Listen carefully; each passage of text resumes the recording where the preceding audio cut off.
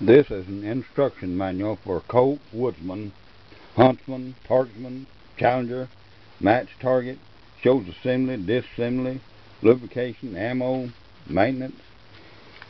Little book's about five and a half inches wide, about eight inches tall. Got a lot of good information in it. I think it's got pictures on just about every page. Got pictures just about on every page. The first one of these I ever saw and wanted to buy was back in, I don't know, about 1947, I believe. And they wanted $76 for it, brand spanking new.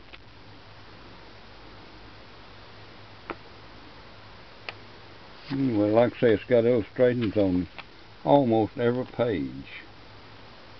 Got illustrations, instructions, field stripping. Got the magazine. Field stripping. Got a bunch of got a bunch of instructions on it.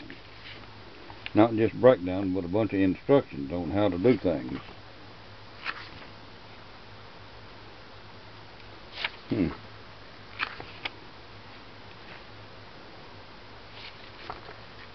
This this has been one of the most popular pistols there ever was.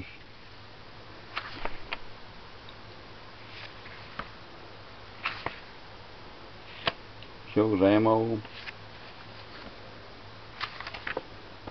See how many pages it has. Well, let's see. I don't know. You'll tell me or not.